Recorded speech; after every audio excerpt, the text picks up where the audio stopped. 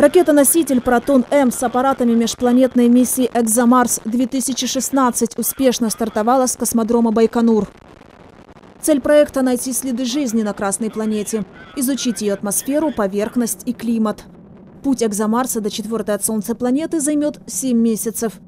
Сейчас на Марс направляется десантный модуль, который отработает технологию посадки, и орбитальный модуль, предназначенный для изучения малых газовых примесей атмосферы и распределения водяного льда в грунте. Второй этап миссии «Экзомарс» запланированный на 2018 год, и он предусматривает отправку на Марс еще двух модулей – полноценного десантного модуля и тяжелого марсохода с буровой установкой.